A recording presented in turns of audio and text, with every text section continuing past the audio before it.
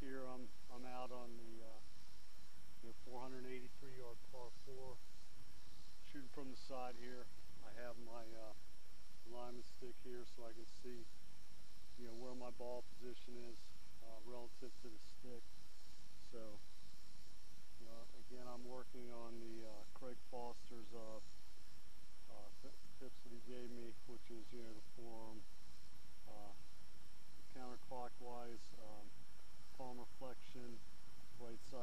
then left the till.